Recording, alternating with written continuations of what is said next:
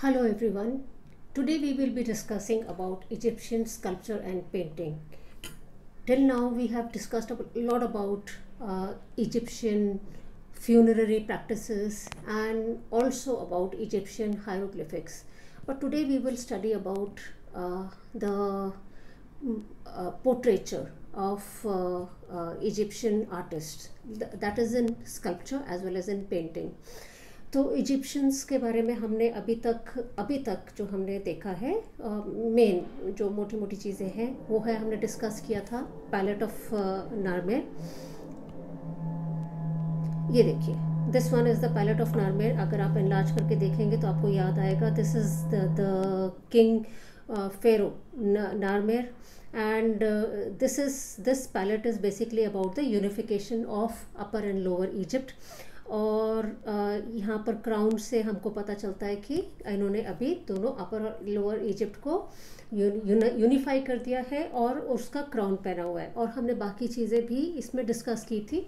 और बेसिकली ये भी डिस्कस किया था कि अगर कोई इम्पोजिंग पर्सनालिटी है, यानी कि कोई बड़ी पर्सनालिटी है, जैसे कि फेरो है या एरिस्टोक्रेटिक पीपल है तो उनकी फिगर्स अलग तरीके से बनाई जाती थी और जो कॉमन लोग हैं, उनकी अलग तरीके से बनाई जाती थी। ख़ास बात यह है कि जो मैंने आपको पहले भी बताया था कि फ्रंटल शोल्डर्स हैं साइड पोस ऑफ़ फेस है फुल आइज़ हैं साइड पोस ऑफ़ लेग्स हैं साइड पोस ऑफ़ आर्म्स हैं। और और ज़्यादा करके एरिस्टोक्रेटिक पर्सनालिटीज़ या फिर फेरोज़ को बड़ा साइज़ में दिखाया जाता था। और जो आम इंसान है, उसका साइज़ साइज़ से ही पता चलता था कि वो सोसाइटी में छोटे स्टेचर पर है लोअर स्टेचर पर है। और एक और भी चीज़ थी कि जो ये फ्रंटल शोल्डर्स और फ्रंटल आइज़ है, वो सब जो छोटे स्टेचर के लोग थे उनके लिए यूज़ नहीं होता था। तो maybe it was a way of showing an imposing personality of the pharaoh right. Another important thing that we discussed uh, was the pa- panel of hesira और हेसाया अलग अलग जगहों पर अलग अलग नाम दिए गए हैं यहाँ पर इनके। And this panel is a wooden panel 2660 BC का है सकारा में मिला। जो प्लेट ऑफ़ नारमेर है वो है हायराकॉन पॉलिस में जो हमें मिली है स्लेट मटेरियल है and it is of 25 inches और इसका मेन चीज़ क्या है? Unification of upper and lower Egypt लेकिन जो पैनल ऑफ़ हेसायरे है this is this was he was a person in the court of king Djoser right और ये पैनल वुड का है. ये वाला ये वाला जो पैलेट है वो स्लेट का है. ये पैनल वुड का है। ये एक स्क्राइब था। स्क्राइब की बहुत इंपॉर्टेंट पोजीशन हुआ करती थी इजिप्शियन डायनेस्टीज़ में। और यहाँ पर इसके रिटर्न मटेरियल्स भी, इसके पास पेंटिंग मटेरियल्स भी साथ में हैं। वो हमने पहले भी डिस्कस किया था। लेकिन क्योंकि ये इंपॉर्टेंट पर्सनैलिटी है तो उसको भी almost same type of representation किया गया है। यहाँ पर अगर आप देखेंगे किंग नारमेर का जैसे रिप्रेजेंटेशन किया गया है, वैसे ही यहाँ पर हेसाइरे का रिप्रेजेंटेशन किया गया है। यानी कि फ्रंटल शोल्डर्स और प्रोफ़ाइल में फेस है फ्रंटल आइज़ है प्रोफ़ाइल में ही बाजू हैं प्रोफ़ाइल में ही लेग्स हैं राइट सो इंपॉर्टेंट पर्सनालिटीज़ के लिए एक अलग कैनन एक अलग सेट ऑफ़ रूल्स यूज़ करते थे ये लोग। Right right? और तीसरी चीज़ जो हमने डिस्कस की थी, काफ़ी इंपॉर्टेंट है that is the great sphinx that was made in two five five eight और two five three two B के बीच में, और ये गीज़ा में है, और ये लाइव रॉक से बनाया गया है, इसकी height around sixty six feet है, और लेंथ पूरी twenty four two forty feet है और ये आ, आ, ये फेरो को रिप्रेजेंट करता है। और तीन पिरामिड्स ऑफ़ गीसा के सेंटर वाले पिरामिड के बिल्कुल सामने ये स्फिंक्स जो कि फेरो खाफरे को रिप्रेजेंट करता है। वो बनाया गया है राइट? और अभी हम लोग ये डिस्कस करेंगे कि बाद में इन लोगों ने पोर्ट्रेचर को कैसे दिखाया है ठीक है? और ये एक इंपॉर्टेंट स्टैचू है और आप यहाँ पर देख सकते हैं this is the statue of prince Rahotep and his wife Nofret right और ये है around twenty five eighty B C ये किस मटेरियल के ऊपर बनाई गई है? It is limestone but the best part about it is that it is painted limestone और आप देखिए इतने सारे uh, साल बीत जाने के बावजूद भी इसका जो पेंट है इसके पूरी लाइमस्टोन के ऊपर जितना भी पेंट है वो अभी भी इस अच्छे कंडीशन में है। इसकी height around 47 seven one by four inches है। और आप ये देखिए रिप्रेजेंटेशनल कलरिंग कैसे की इन लोगों ने कि जो प्रिंसेस है वो फेयर कॉम्प्लेक्शन की है और जो प्रिंस है वो थोड़ा डार्क कॉम्प्लेक्शन का है। और uh, इसके uh, ये काफ़ी लाइव लगती है क्योंकि इनके अंदर जो आँखें इन्होंने आँखों के लिए जो मटेरियल यूज़ किया है उससे उनके अंदर थोड़ी सी लाइवलीनेस लगती है क्योंकि उन्होंने शाइनिंग क्वार्ट्स यूज़ किया। तो ऐसा लगता है जैसे कि एक ज़िंदा इंसान की स्टैचू है। It looks very lively so uh, fairer color for princess eyes inlaid with shining quartz to make them look alive. और आप यहाँ पर ये देखिए, दोनों ने अपना राइट हैंड चेस्ट के ऊपर रखा हुआ है और इनके आप ज्वेलरी भी देख सकते हैं हेड बैंड देख सकते हैं और अगर आपने कभी कोई क्लियोपैट्रा की अगर कोई पोर्ट्रेट्स वगैरह देखी हैं तो आप ये देखेंगे कि ऑलमोस्ट हेयर स्टाइल भी इनका प्रिंसेस का वैसे ही है राइट एंड लेकिन एक चीज़ है आप देख सकते हैं दोनों प्रिंस और प्रिंसेस का ऑलमोस्ट साइज़ इन्होंने सेम ही बनाया है which may also signify that the stature of man and woman in these times was almost equal right and इसी के इसी के बाद हम लोग एक और स्टैचू uh, पर आते हैं और आप यहाँ पर आकर के देखेंगे जब हम कंपेयर करेंगे इसके साथ जो कि इतनी आ, अच्छी तरह से फिनिश स्टैचू नहीं लगती है in spite of the colouring आप इस स्टैचू को देखेंगे that is the statue of pharaoh Khafre Khafre तो आप यहाँ पर देखेंगे कि इनकी स्टैचू काफ़ी मैजेस्टिक लगती है। ये देखिए आप इसका यहाँ पर साइड पोज है यहाँ पर। और ये है around made around 2500 BC and it was found at Giza जो स्टोन यूज़ किया गया है, वो है diorite diorite stone it's quite a hard stone जो भी चीज़ वो लोग चाहते थे कि लास्ट करे, उसको वो लोग स्टोन में ही बनाते थे। ताकि ये काफ़ी सालों तक लोगों को पता रहे कि इस टाइम के फ़ैरो कौन थे राइट और यहाँ पर इसकी पूरी हाइट है 66 six inches and you can see ये एक थ्रोन है ये एक थ्रोन है right so king is sitting on a throne लेकिन यहाँ पर आप यहाँ पर ये सिंबल देख सकते हैं।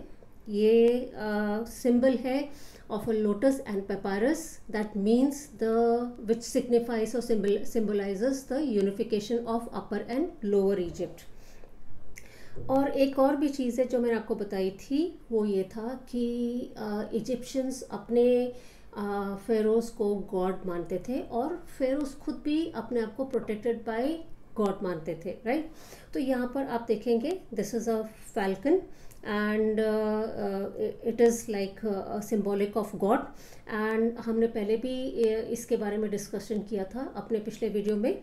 और यहाँ पर wings a sign of protection ये देखिए फैल्कन अपना विंग्स uh, फैला करके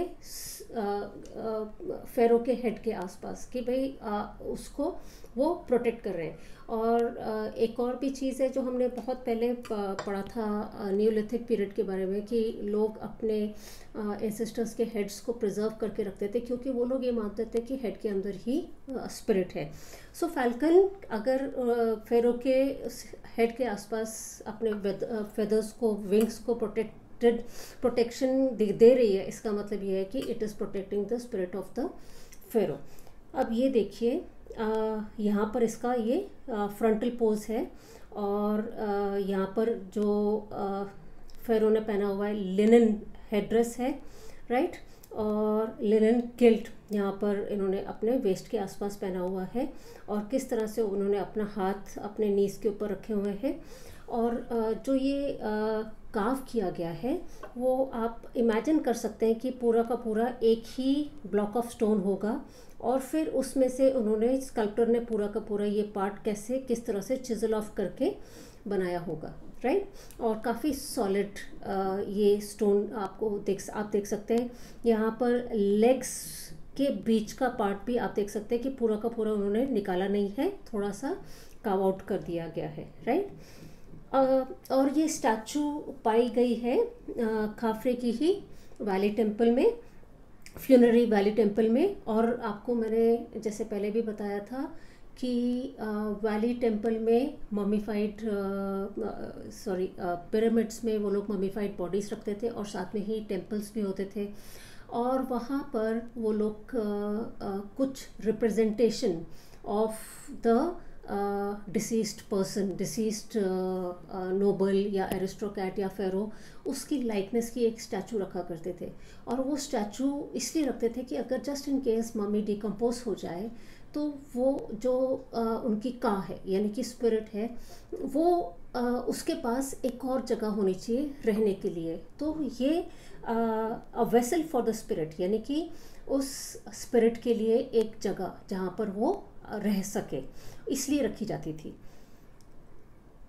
और मैंने आपको पहले बताया it was found in the funerary temple valley temple of the pyramid of Khafre एक और, वैसी ही एक स्टैचू है Menkaure and his queen right और ये है around two four seven zero B C के आसपास की and the material is slate it is different from the material that has been use over here लेकिन ख़ास बात यह है कि दोनों क्वीन और किंग के हाइट ऑलमोस्ट सेम दी गई है और इनके आप फ़िज़िकल डायमेंशंस भी देख सकते हैं कि बहुत ज़्यादा रियलिस्टिक नहीं हैं और कुछ स्ट्रिक्ट कैनन्स को वो लोग फॉलो करते थे स्कल्प्टर्स और जैसा बताया गया वैसे ही करते थे। इट और ज़रूरी नहीं था कि जो भी स्टैचू बनाई गई है उसमें कोई लाइकनेस है फेरो की या क्वीन की।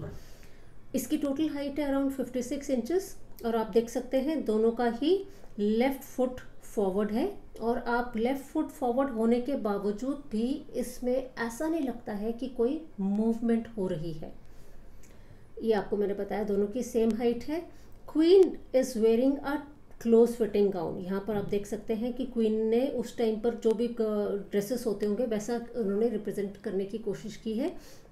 So queen is wearing a close fitting gown and pharaoh is wearing a tunic and head dress ये देखिए, यहाँ पर फेरो ने सिर्फ़ एक ट्यूनिक पहनी हुई है और वो हेड ड्रेस पहना हुआ है, जो कि usually it use to be of linen और जो कार्विंग की गई है, वो बहुत ही सटल कार्विंग की गई है।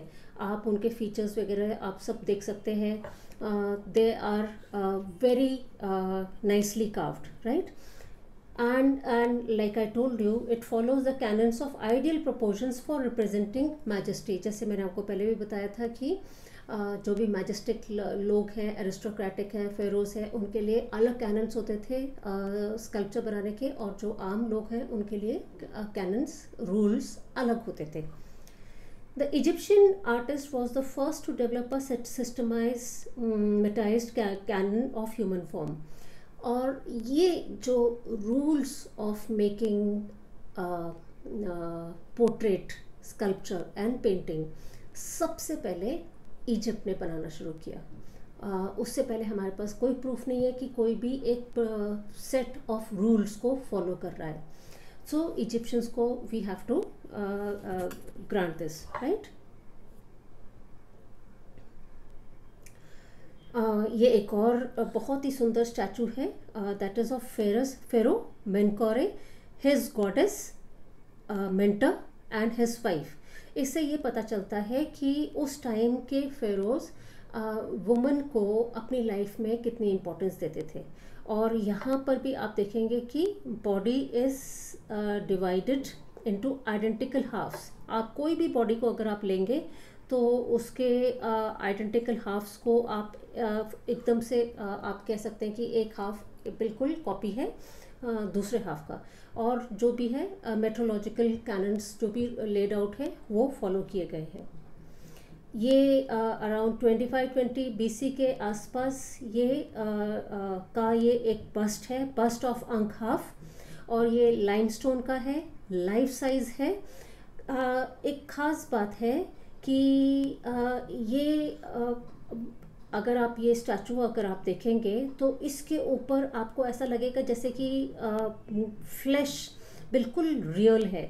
यहाँ पर ये जो जिस टाइप का बस्ट है, वो भी सबसे पहले हमें यहाँ पर ओल्ड किंगडम ऑफ़ इजिप्ट में ही पाया गया है, right?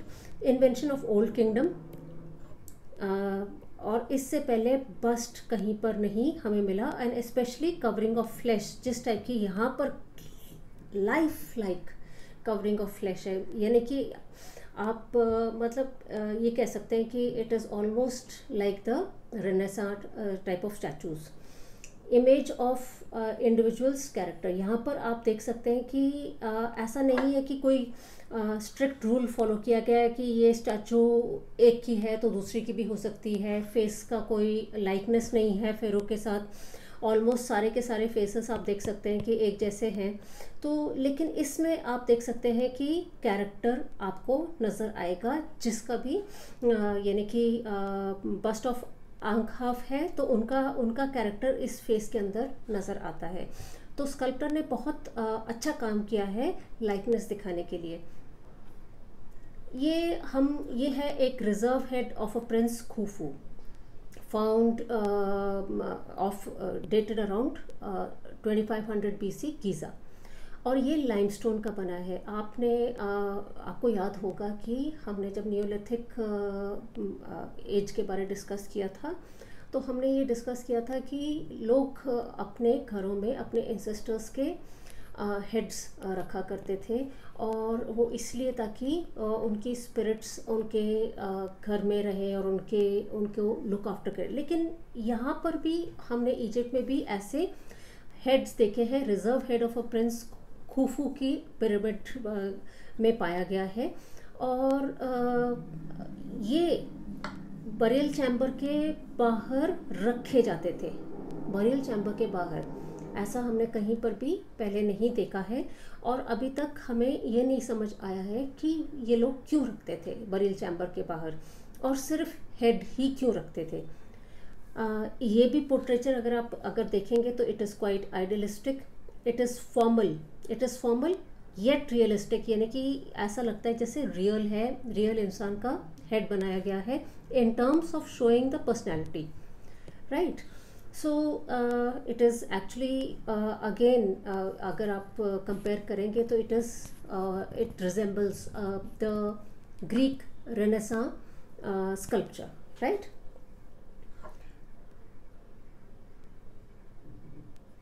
और ऐसे रिज़र्व हेड्स रिज़र्व हेड्स हमें बहुत सारे मिले हैं लेकिन मैक्सिमम हमें मिले खूफू एंड खाफरे के डायनेस्टी के डेटेड आसपास ही यानी कि फोर्ट डायनेस्टी के ही आसपास।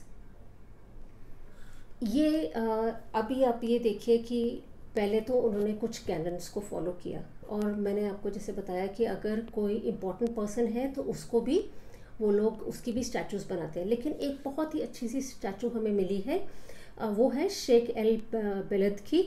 और ये एक सर्वेंट थे फेरो के, और इनकी पूरी की पूरी स्टैचू बनाई गई है, और ये डेटेड है 2400 बीसी पाई गई है सकारा में। The height of the total height of the statue is 43 inches और ये वुड में बनाई गई है। ये आप ये आप साफ़ देख सकते हैं कि ये वुड के अंदर कार्व किया गया है। ये आप सारी लाइन से पता चलता है कि ये वुड के कार्विंग है। और फेस अगर आप इसका देखेंगे तो आप देखिए, बिल्कुल ही realistic sort of a face है, बिल्कुल अलाइव लगता है और ऐसा लगता है जिस इंसान का बनाया गया है, उसकी टोटल कॉपी की गई है। तो it is quite realistic sort of a face and it looks alive लेकिन क्योंकि वुड में बनाया गया है तो पता चलता है कि भाई this person must be of a lesser importance eyes इसकी जो बनाई गई है, वो रॉक क्रिस्टल उसमें लगाया गया है। और इनका भी अगर आप देखेंगे तो लेफ़्ट लेग फॉरवर्ड है। और अगर आप यहाँ पर देखें तो आप ये देखिए कि फेरों की वेस्ट कैसी है। यहाँ पर भी अगर आप देखेंगे there is no point idealistic proportions हैं। इनके भी आइडियलिस्टिक प्रोपोर्शंस हैं। लेकिन जब हम शेख एल बेलेद की बात करते हैं तो आप देख सकते हैं कि इनका पॉइंट भी दिखाया हुआ है that uh, actually shows key canons of idealistic proportions were not followed over here just because this was not a very important personality he was a servant of the pharaoh here and the statue was also placed uh, in the uh, pyramid uh, so that he would be a servant of the pharaoh later on also body proportions not idealized like that of nobility Right और एक और भी चीज़ है कि ये statue हमें बहुत अच्छे कंडीशन में मिली है। लेकिन जब ये बनाई गई होगी तो इसके ऊपर कलर किया गया होगा और इसके ऊपर कोटिंग की गई होगी जो कि अभी आ, हम नहीं देख पा रहे हैं। राइट एक चीज़ जो ख़ास बात है यहाँ पर कि हम लोगों ने देखिए हमने स्टैंडिंग पोस्चर देखा है स्टैंडिंग पोस्चर देखा है स्टैचूज़ में, ये देखिए स्टैंडिंग पोस्चर देखा है हमने स्टैचूज़ में, ये यहाँ पर भी, और हमने यहाँ पर सिटिंग पोस्टर देखा है स्टैचूज़ का, और और हमने बस्ट भी देखा है और हमने हेड भी देखा है, लेकिन एक नया पोस्टर निकाला बाद में, ये देखिए ये भी ये भी स्टैंडिंग पोस्टर है, एक नया पोस्टर निकाला और क्वाइट लेटर ऑन वो है क्रॉस लेग्ड ये देखिए आप, जैसे कि हम लोग इंडियंस वगैरह भी बैठते हैं क्रॉस लेग पोस्टर में ये एक स्टैचू हमें मिली है। This is the statue of this is a very famous statue of a seated scribe scribes कौन होते थे? जो लोग रिटर्न डॉक्यूमेंट्स बनाते थे और उनकी इंपॉर्टेंट काफ़ी इंपॉर्टेंट पोजिशन होती थी फेरोज़ के किंगडम्स में राइट और ये डेटेड है अराउंड 2400 बीसी पाई गई है एट सकारा और अननोन टूम में जिस टूम में पाई गई है उसके ओनर का हम नाम नहीं पता लगा पाए हैं और स्टैचू अगेन है लाइमस्टोन में जो कि काफ़ी अवेलेबल था वहाँ पर इजिप्ट में उस टाइम पर और ये है अराउंड 21 इंचेस की हाइट है। और यहाँ पर भी आप देख सकते हैं कि आ, ये जो स्क्राइब है काफ़ी यंग नहीं है रियलिस्टिक आप उसको उसके फेशियल फीचर्स वगैरह काफ़ी रियलिस्टिक और जिसका होगा उसको काफ़ी रिजेंबल करते होंगे। और इसके बॉडी के सारी ये जो फ्लैश हैंगिंग है और पॉन्च है इसको देख करके आप कह सकते हैं कि ये कोई यंग इंसान नहीं रहा होगा और काफ़ी मेच्योर होगा। और ये आ, हमने डेट किया है तो ये अराउंड फिफ्थ डायनेस्टी के आसपास का ये स्टैचू है। और जो ये डेटिंग वगैरह करते हैं most reliable is the radio carbon dating right and of course also the thermoluminescence dating जिसमें कि लास्ट टाइम कोई चीज़ को जब हीट किया गया हो तो वो हम लोग उससे पता लगा सकते हैं right so this is a new form of statue that is the seated scribe और इससे पहले ऐसी कोई स्टैचू पूरी दुनिया में नहीं पाई गई है। उसके बाद आप देखिए, पहले तो ये लोग कैनन्स फॉलो करते थे फेसेस का भी, अगर फेरो है तो उसके आइडियलिस्टिक प्रोपोर्शंस है। लेकिन जैसे ही आगे बढ़ते रहे वो लोग तो उन्होंने काफ़ी लाइकनेस और काफ़ी मेच्योरिटी आने शुरू हुई उनके आर्ट में। ये आप देख सकते हैं head of Sesostris third middle kingdom के हैं ये। और ये डेटेड है अराउंड 1875 बीसी और इनका ये काफ़ी डैमेज स्कल मिला ये आ, मिला है हेड की स्टैचू लेकिन इससे हम अंदाज़ा लगा सकते हैं कि इसकी पूरी विर्थ कितनी होगी that is twenty nine inches wide और इस स्टैचू को अगर आप देखेंगे तो आप इस इंसान की पर्सनैलिटी को आप देख सकते हैं।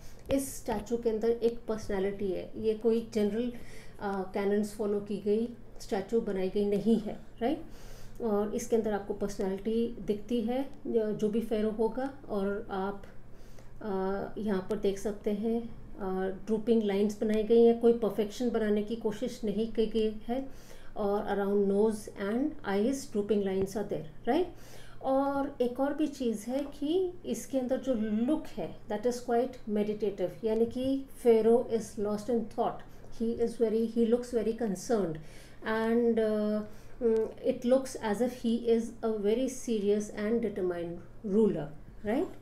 And this is quite a progress from the earlier statues जो कि uh, canons को follow करते थे एक और uh, काफ़ी इंटरेस्टिंग uh, हमें रिलीफ uh, मिला है that is painted limestone relief from the tomb of Tai old kingdom official थे टाई और ये जो रिलीफ है, उसका नाम दिया गया है हिपोपोटामस हंट ये अराउंड डेटेड है अराउंड 2400 बीसी पाया गया है सकारा में and the total height is 48 inches अब आप ये देखिए, जो भी इनके सब्जेक्ट्स होंगे, इसमें यहाँ पर जो सब्जेक्ट है इसमें आप देख सकते हैं कि अभी चेंज आया है. पहले हम लोग बात करते थे सिर्फ़ रॉयल्टी की. लेकिन अभी शिफ्ट हुआ है सब्जेक्ट का।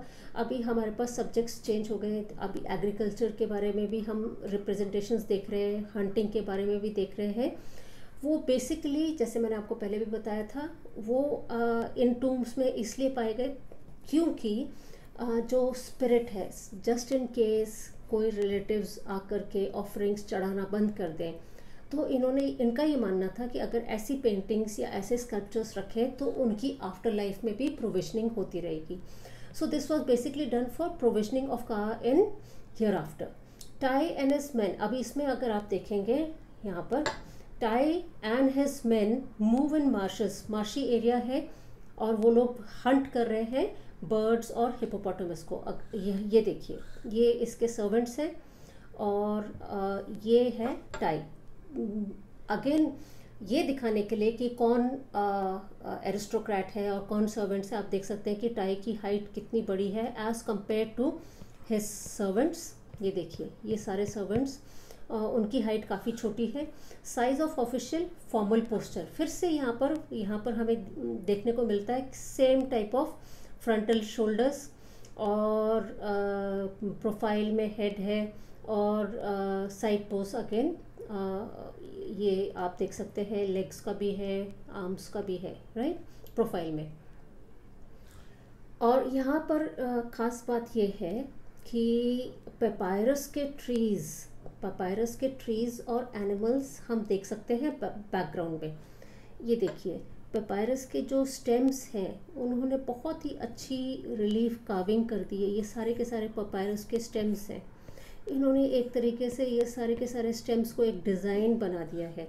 और आप यहाँ पर ट्रीज़ में आप देख सकते हैं, ये देखिए, यहाँ पर आप जानवर हैं ट्रीज़ के जो बर्ड्स हैं, उनको हंट करते हुए यहाँ पर बर्ड्स दिखाई दे रही हैं, इतनी क्लियर नहीं है, लेकिन उनको हंट करते हुए कुछ जानवर जो ट्रीज में चढ़े। ये देखिए, आप एक नेस्ट है, काफ़ी सारी बर्ड्स हैं यहाँ पर।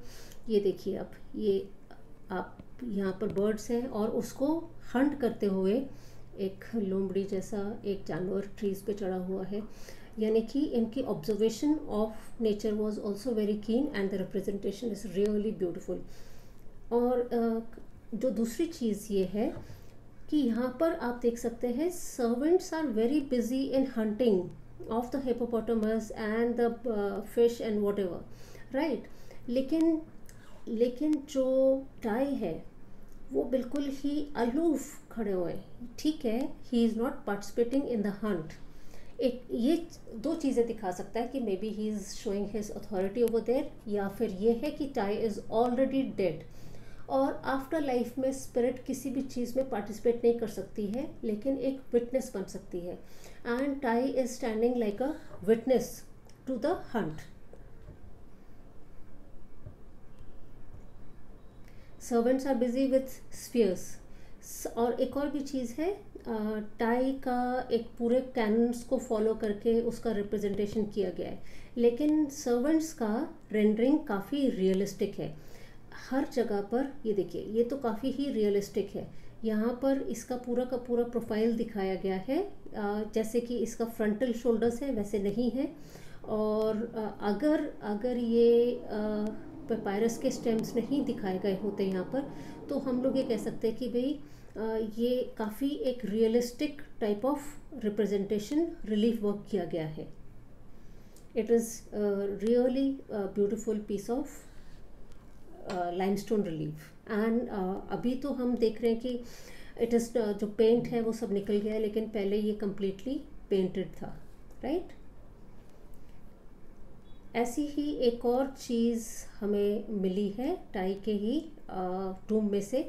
जैसे कि मैंने आपको पहले बोला कि अभी सब्जेक्ट इन लोगों का चेंज हो गया। It's it move towards agriculture and hunting for the provisioning of ka लेकिन कुछ चीज़ें ऐसी है कि जिसके बारे में हम भी नहीं समझ पाए हैं कि ये रिप्रेजेंटेशन क्यों किया गया है। और लेकिन काफ़ी इंटरेस्टिंग रिप्रेजेंटेशन है। This is cattle fording a river यानी कि नदी में से आ, चल नदी पार करती हुई कैटल दिखाई गई है। और इसमें अगर आप देखेंगे तो एक छोटा सा काफ है जो कि इस इंसान ने अपने कंधे पर उठाया हुआ है ताकि वो नदी में डूब ना जाए। और ब्यूटीफुल चीज़ ये है कि ये काफ देखिए इसका हेड टर्न्ड है और ये देख रहा है अपनी मदर को। और it is not bothered about anything it is just it just wants to be its its as if it just wants to be with its mother और यहाँ पर देखिए आप बाकी गाय का का उसका फेस देखिए, ठीक है रिवर में से वो लोग पार कर रिवर पार कर रहे हैं डेंजर है। लेकिन ये वाले काउ का एक एक्सप्रेशन अलग ही है as a mother is really worried about her calf right और यहाँ पर यहाँ पर पीछे आप देख सकते हैं कि हायरोग्लिफिक्स भी दिए हुए हैं। यहाँ पर ये अलग अलग हायरोग्लिफिक्स दिए हुए हैं। अगर ये हायरोग्लिफिक्स ना हो तो ये काफ़ी ही रियलिस्टिक लगता है ये रिप्रेजेंटेशन और वाटर को दिखाने के लिए इन्होंने क्या किया है? जिग जैग लाइन्स बना दी है which is very interesting so this is cattle fording a river and it is dated around 2400 BC old kingdom tomb of Tai, Sakara. It is non-royal tomb. One of the herders carries a newborn calf on his back. The calf turns back to look at its mother, who also is anxious.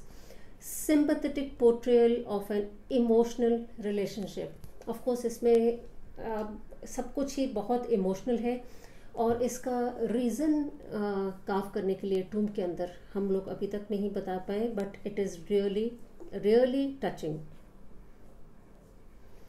और common agriculture uh, है hunting है और husbandry के बारे में तो यहाँ पर आप देख सकते हैं ये दो इंसान दिखाए गए हैं यहाँ पर और they are feeding oryxes these are the servants तो काव uh, किया गया है सॉरी uh, पेंट किया गया है ये around nineteen hundred B C Beni Hasan के uh, उसमें uh, बेनी हसन में पाया गया है और टूम ऑफ़ क्नूम होटेप में पाया गया है राइट और ख़ास बात इसकी ये है यहाँ पर आप थोड़े से हाइरोग्लिफिक्स देख सकते हैं, लेकिन शोल्डर्स को इन्होंने रियलिस्टिकली दिखाने की कोशिश की है, यानी कि बैक को, जैसे कि हम मॉडर्न पेंटर्स करते हैं शोल्डर्स को उन्होंने रियलिस्टिकली दिखाने की कोशिश की गई है।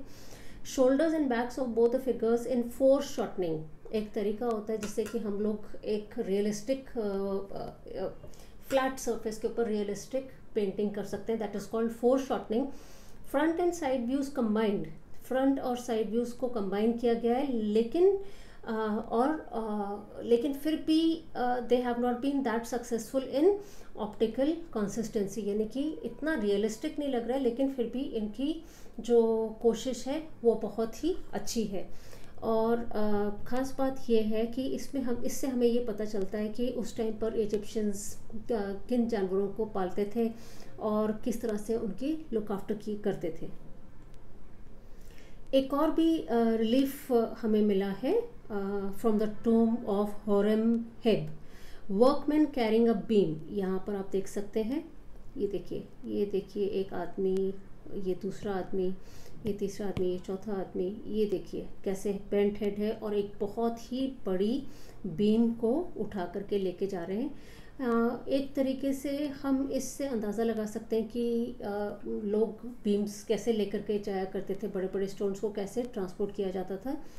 लेकिन ख़ास बात यह है कि यहाँ पर इन्होंने एक राउंड व्हील भी दिखाया है राइट और यहाँ पर आप देख सकते हैं कि इनके हॉर्स का भी रिप्रेजेंटेशन है। इसका मतलब इनके पास हॉर्सेस भी होते थे and they knew about horse riding and यहाँ पर uh, ये देखिए ये देखिए this could be picture for people to drink from and it is quite an interesting relief carving and it is dated around 1325 BC and found at Saqqara. एक अलग type की statue हमने देखी है that is of Senmut with princess Neferure right यहाँ पर ये है सेनमुथ और ये है प्रिंसेस यानी कि mother and daughter around dated around 1450 BC at Thebes ये आप देख सकते हैं कि ये एक ब्लैक स्टोन ब्लॉक रहा होगा। कंप्लीट एक ब्लैक स्टोन ब्लॉक रहा होगा जिसको इन्होंने फिर से ये सब पार्ट निकाल करके बीच में से एक स्टैचू निकाली है। लेकिन इस स्टैचू के अंदर आ, सिर्फ़ जो रिप्रेजेंटेशनल पार्ट है वो है सिर्फ़ हेड और जो भी बॉडी होगी वो एक अज्यूम कर सकते हैं कि इसके स्टैचू इस स्टोन ब्लॉक के अंदर होगी right so this is dated around 1450 BC and found at Thebes This is Blackstone. A total height is 40 inches. Senmuth was Queen Hatshepsut's chancellor and architect of her temple at Deir el Bahari. Right? तो Senmut कौन थी she was queen Hatshepsut's chancellor और ये architect भी थी यानी कि उस टाइम पर विमेन आर्किटेक्ट्स भी थी और जिन्होंने हाटशपुट का टेंपल बनाया देरेल पहाड़ी में यहाँ पर आप देख सकते हैं कि पोर्ट्रेट हेड ये अलग ही टाइप का स्कल्पचर है right and that is what we expect out of women that whatever they do they try to do it little differently and innovatively so this is a portrait head body cubic block है inscriptions दिए गए हैं। लेकिन पूरी body बनाने की उन्होंने ज़रूरत नहीं समझी, लेकिन इसके ऊपर उन्होंने हायरोग्लिफिक इंस्क्रिप्शंस दिए हैं। ऑन ब्लॉक एंड uh, और आप एजेस देखेंगे एजेस जहाँ पर भी है कहीं पर भी हैं they are all smooth and rounded off right they are all rounded off there are no sharp edges anywhere यहाँ पर आप देखेंगे there are no sharp edges right and it is very interesting piece of sculpture एक बहुत ही interesting फेरो uh, थे जिनका नाम था आखिनातन और उनका बाद में नाम था Amenophis four and he was from the eighteenth dynasty this this sculpture is dated to around thirteen seventy five B C found at Karnak right और found at the of Amun Re and the height is around thirteen feet काफ़ी बड़ा sculpture है। आखिर नातन ने क्या किया? He made temples of Aten at Tel El Amarna. And he abolished the cult of Amen यानी कि इन्होंने पहले क्या था कि प्रीस्ट वगैरह बहुत सारे कंट्रोल करके रखते थे एरिस्टोक्रेसी को भी। और ये काफ़ी उस चीज़ से फेडअप हो गए।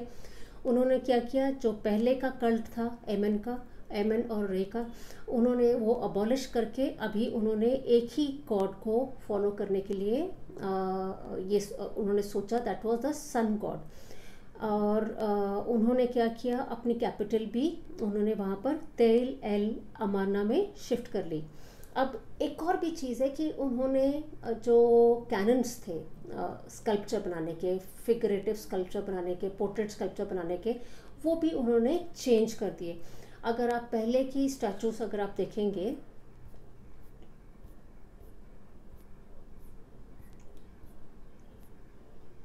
ये देखिए तो जो स्टैचूज़ हैं, वो परफेक्ट रूल्स को फॉलो करती हैं और फॉर्मूलाज को फॉलो करती हैं और काफ़ी आइडियलिस्टिक टाइप ऑफ़ स्टैचूज़ हैं। लेकिन अगर आप अखिनातन की स्टैचू देखेंगे तो इनकी स्टैचू काफ़ी पहले वाली स्टैचू से अलग हैं। और उसमें अलग बात क्या है? That it is not proportion as per earlier canons frontal pose तो है ही लेकिन बहुत ही कर्विंग कॉन्टूअर्स हैं। और आ, इनकी हिप्स काफ़ी बड़ी दिखाई गई हैं और पहले वाले स्टैचूज़ में हिप्स काफ़ी नैरो दिखाई गई हैं। And it looks like epicene it looks like the hips of a woman और इनके अगर आप लिप्स देखेंगे तो lips are quite full lips और हैवी आईलेट्स हैं इनकी। इनकी अगर आप ये स्टैचू को क्लियरली देखेंगे तो आप देखेंगे कि इनकी eyelids are quite heavy and drooping और ये काफ़ी नेचुरलिस्टिक टाइप ऑफ़ स्टैचू बनाई गई है। जैसे वो रहे होंगे, वैसा ही उन्होंने कहा होगा कि मेरा रिप्रेजेंटेशन किया जाए।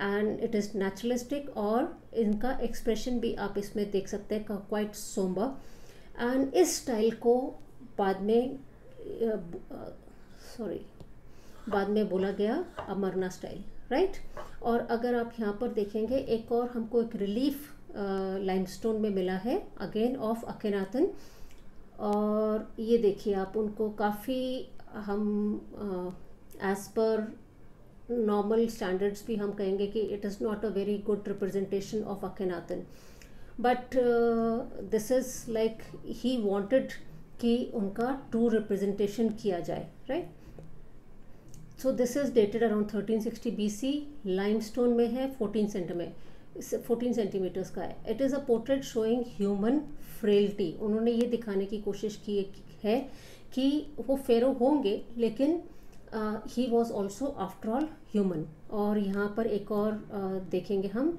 Akhenaten and Nefertiti with their children dated around 1345 BC limestone relief ये रहे अखेनाथन और ये रही नेफोटिटी और इसमें ख़ास बात क्या है कि ये रहे इनके सन गॉड ये इनके सन गॉड है और इनके काफ़ी सारे हाथ के साथ आप देख सकते हैं ये एक रेज बनाई गई है।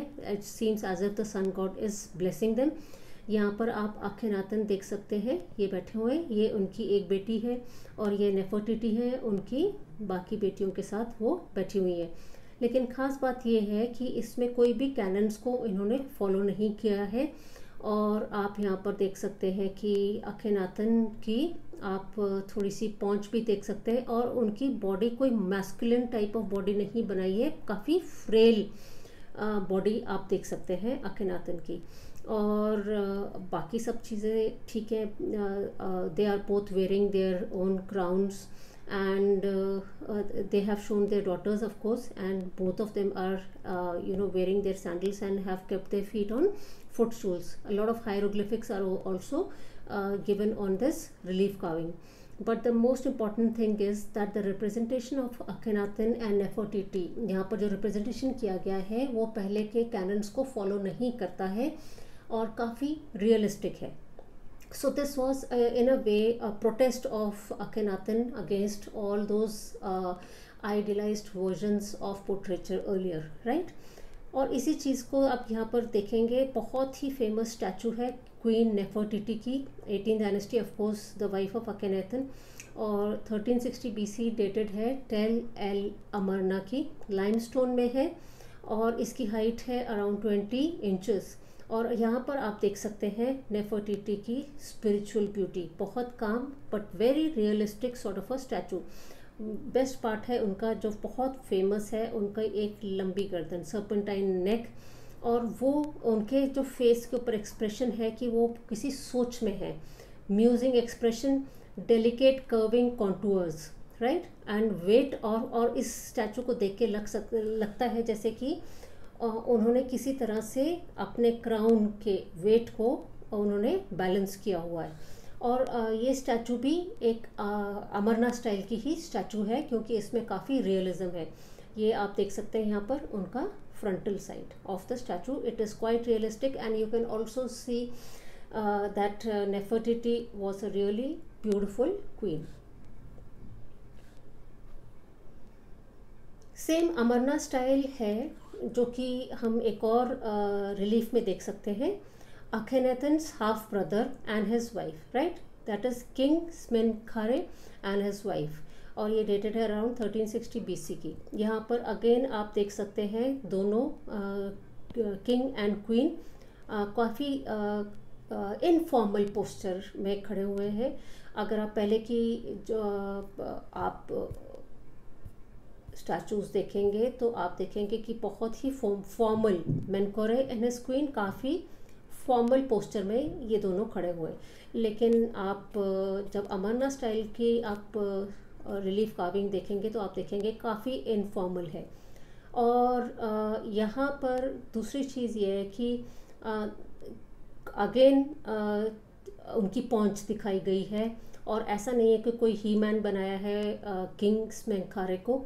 और you can see a little bit of belly of the queen also they both are uh, they they uh, uh, lots of jewelry also and uh, it seems as if they both are in conversation. Informal representation है flexible shift of body mass आप यहाँ पर देख सकते हैं कि body mass ऐसा नहीं है कि बिल्कुल जिसमें कोई मूवमेंट नहीं है लेकिन इस, इसमें देख सकते हैं कि मूवमेंट नज़र आता है। It is quite flexible princess has freer expression ऐसा नहीं है कि वो स्टिफली खड़ी हुई है। She she seems to be like quite free and prominent bellies है, जो कि एक अमरनाथ स्टाइल एक खास चीज़ है, जो कि इससे पहले कभी नहीं देखा गया है, वो है no precedent for the pose कौन सा पोज प्रिंस स्टैंडिंग एक पैर के ऊपर वज़न डाल करके उन्होंने दूसरी लेग को काफ़ी रेस्ट दिया हुआ है. प्रिंस लीन्स ऑन स्टाफ ये देखिए यहाँ पर उन्होंने स्टाफ पकड़ा हुआ है and and he is standing on one leg और दूसरी लेग एट ईज है। इससे पहले कोई भी रिलीफ काविंग या कोई स्टैचू ऐसी नहीं मिली है। ऐसा बाद में हमने जा कर के ग्रीप कल्चर में ही देखा है कि the person is rest putting all his weight on one leg right is also a very important uh, style representation of the amarna style एक और चीज़ जो अमरनाथ स्टाइल को रिफ्लेक्ट करती है, जो हम पहले भी देख चुके हैं that is the that is Tutankhamun and is wife Akhenaten successor Tutankhamun उनका नाम पहले टूटन खातुन था, और बाद में उन्होंने वापस चेंज कर लिया अपना नाम टूटन खामुन में this is king and queen in homely setting दोनों जाने अपने घर में काफ़ी कैजुअल सेटिंग है, और ये गोल्ड में बनाई गई है। यहाँ पर आप फिर से वापस देख सकते हैं सन गॉड है with a lot of his blessings right lots of hands of his and course we can see lots of other things the king is sitting on a throne he is very relaxed फिर से वापस आप देख सकते हैं कि prominent बेली है जो नज़र आ रही है राइट right? एंड ऐसा कोई masculine macho type of prince नहीं दिखाया गया है। Against the and this was Amarna style was against the conservative Egyptian standards during Tutankhamun's time old believes and customs were restore Tutankhamun के time पर ही पुराने, यानी कि जो स्ट्रिक्ट रूल्स फॉलो करते थे पोर्ट्रेचर का स्ट्रिक्ट कैनन्स फॉलो करते थे पोर्ट्रेचर का डिपिक्शन का, वो सारे के सारे वापस आ गए।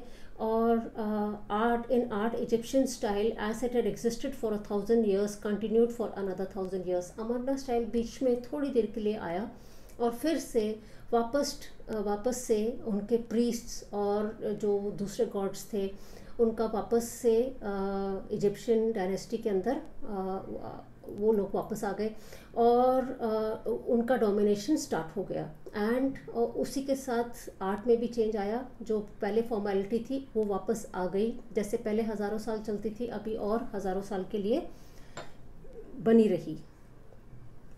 एक बहुत ही अच्छा चेस्ट मिला है that is from Tutankhamun's to और पेंटेड चेस्ट है, जिसमें फिर से हम अमरना स्टाइल देख सकते हैं। This is from the tomb of Tutankhamun dated around 1350 BC Thebes में मिला है। This is around 20 inches long और फिर से यहाँ पर आप देख सकते हैं अमरना स्टाइल लिड में लिड का पार्ट जो है, वो ये है। लिड में हंटिंग सीन है। आप देख सकते हैं यहाँ पर। ये रहा हंटिंग सीन लिड में हंटिंग सीन देख सकते हैं। चाहे टूटन खामुन ने कभी अपनी लाइफ में हंटिंग की हो या ना हो लेकिन इसका कोई प्रूफ नहीं है लेकिन इनके टूम में ये चेस्ट दिया है। एंड उसका रीज़न ये भी हो सकता है कि आ, उनके आफ्टर लाइफ में उनको आ, उनकी स्पिरिट को जो भी ज़रूरतें हों as as far as food and all is concern वो उनकी पूरी होती रहे। साइड पैनल में टोटन खामुन देख, आप देख सकते हैं he is riding against enemies of Egypt यहाँ पर आप देख सकते हैं कि टोटन खामुन और ये बहुत सारे एनिमीज़ दिखाए हुए हैं यहाँ पर और टोटन खामुन ये रहे and he is riding against a lot of enemies और अपने चैरियट के ऊपर है राइट right?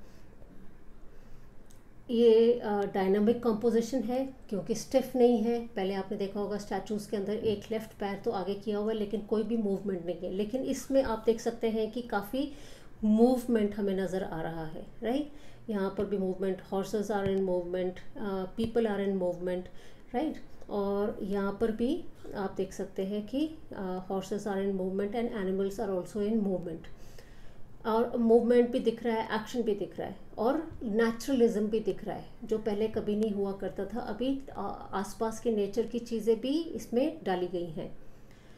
लेकिन एक ख़ास बात है कि बहुत सारे साल के बाद ऑलमोस्ट टू थाउज़ेंड ईयर्स के बाद जो इस्लामिक मिनेचर्स हैं, वो उसके साथ ये काफ़ी रिजेंबल करता है। तो we can always say that this was sort of a precursor to Islamic miniature and uh, Islamic miniature is really beautiful and so is this uh, painting on uh, the chest uh, that was kept in Tutankhamun's tomb. It is a really beautiful work of art.